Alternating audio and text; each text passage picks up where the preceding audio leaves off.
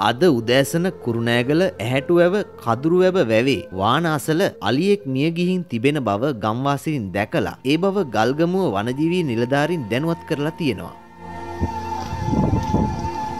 පසුව වනජීවී නිලධාරීන් එම ස්ථානයට ඇවිල්ලා පරීක්ෂා කර බැලුවට පස්සේ දැනගත්තේ මේ මිය ගිහින් තියෙන්නේ වයස අවුරුදු 50ත් 55ත් අතරේ පසුවන ගල්ගමුවේ චණ්ඩි කියන වමේ තනි දල ඇතා බව.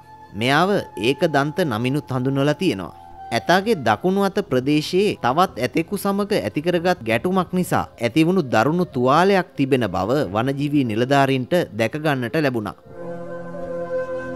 මේ ඇතා ගල්ගමුව ප්‍රදේශයේ ජනතාවගේ මහත් ආදරයට පාත්‍ර වෙලා තමයි හිටියේ. වනජීවී නිලධාරීන් අවස්ථා තුනක්ම මෙයාව වෙනත් වනාන්තරයකට එක්කන් ගියත් මෙයා නැවතත් එයාගේ නිජභූමියටම පැමිණි බවයි ප්‍රදේශවාසීන් කියන්නේ. පසුගිය දින කිහිපයේ ඇතා තරමක් රෝගාතුර වෙලා පසුව වනජීවී නිලධාරීන් එයාට ප්‍රතිකාර ලබා දීලා තියෙනවා.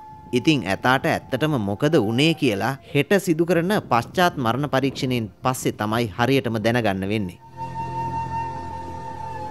කොහොමුණත් තවත් වටිනා සම්පතක් රටට අහිමි වුණා.